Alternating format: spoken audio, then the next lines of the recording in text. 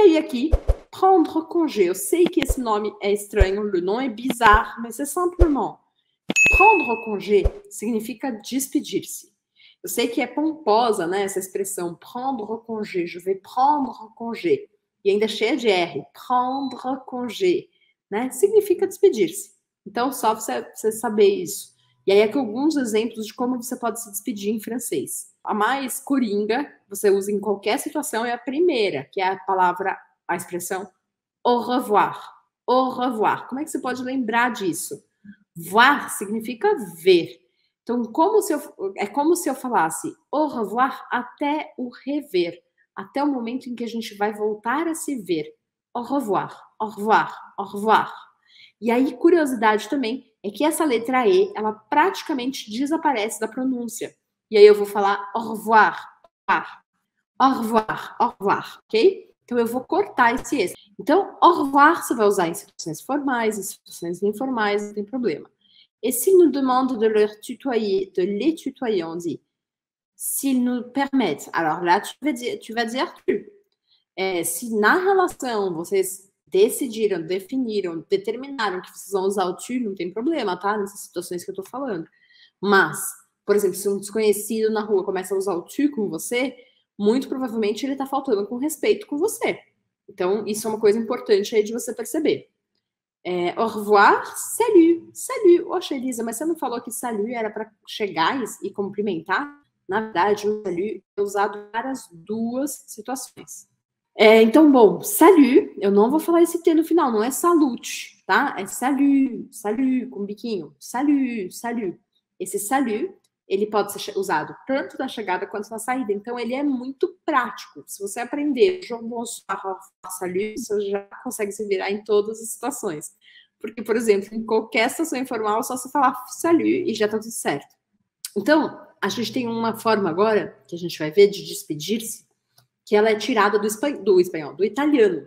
Né? Vocês sabem que a Itália ela faz fronteira com a França, então toda aquela parte do sul da França ela é muito próxima à Itália. E aí eles usam o tchau, tchau. Só que tchau em, em, em francês é igual tchau em português, é só para se despedir, tá? Tchau, tchau. E se escreve com o no final, tchau. Então substitui o u por o, e inclusive é a sílaba forte. Tchau, tchau, tchau. É assim que eles se despedem. Também tem anglicismos, que são expressões que vêm do inglês, como bye ou bye bye. A gente pode usar das duas formas: bye ou bye bye. Aí a gente tem três expressões que querem dizer que em breve a gente vai voltar a se ver. Pode ser no mesmo dia, pode ser em outro dia. Então eu vou falar a plus, a plus. Aqui eu preciso falar o S, tá?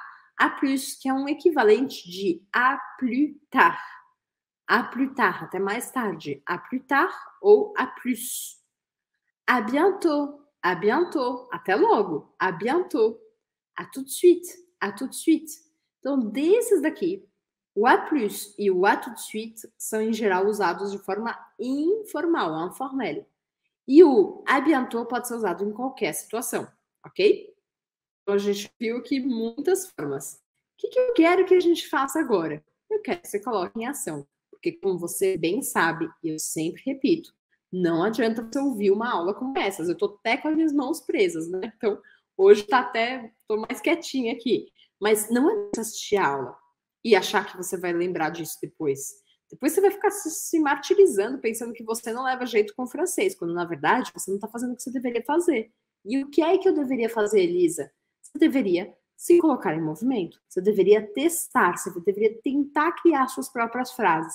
Sim, mesmo que você esteja do absoluto zero, mesmo que você esteja começando.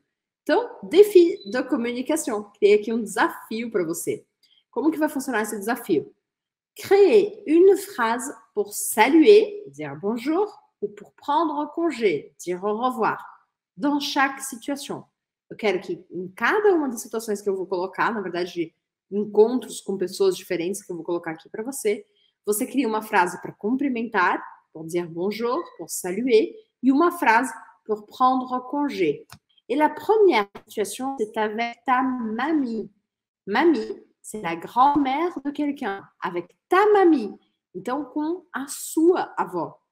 Então, avec ta mamie, com a sua avó, com a sua vovó, est-ce que tu vas dire bonjour, salut, au revoir?